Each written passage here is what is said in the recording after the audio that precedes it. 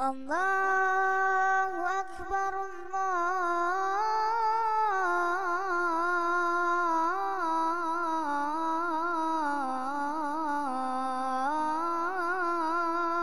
أكبر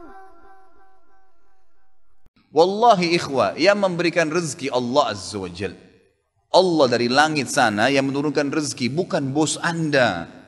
Bukan manusia. Gitu kan. Kenapa takut sekali meninggalkan tempat haram?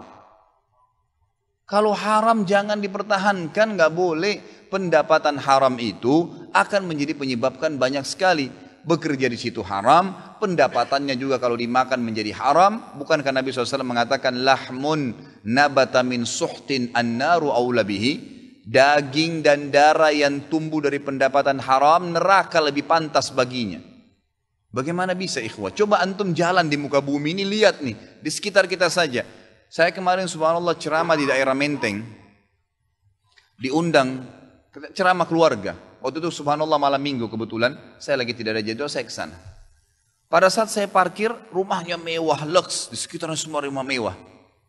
Pas azan maghrib saya bilang pak maaf pak saya mau pamit. Sholat ini Ustaz enggak. Saya sudah azam untuk selalu sholat di masjid. Kalau bapak-bapak sini mau ikut silahkan. Lalu saya masuk, saya cari mana masjid tanya.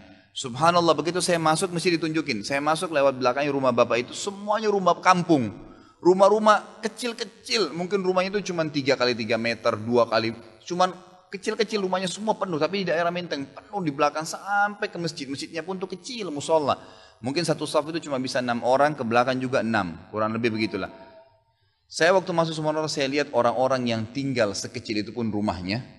Ada yang lagi bungkus-bungkus gula dijual. Dia cuma jual di komunitas di situ saja. Ada yang jual indomie, ada yang buat jual kopi dan teh panas. Hidup tuh, gitu kan?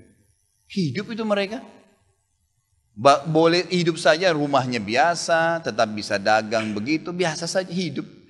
Coba lihat tuh, artinya orang-orang banyak yang hidup dengan keadaan seperti itu. Kenapa kita tidak lihat dan coba belajar gitu? Bahwasanya orang hidup kok, tidak harus dengan terikat masalah perusahaan kita yang akhirnya kita anggap kalau saya tidak kerja sini saya nggak bisa. Rezeki biadillah ikhwah sekalian, rezeki biadillah. Allah bukakan rezeki.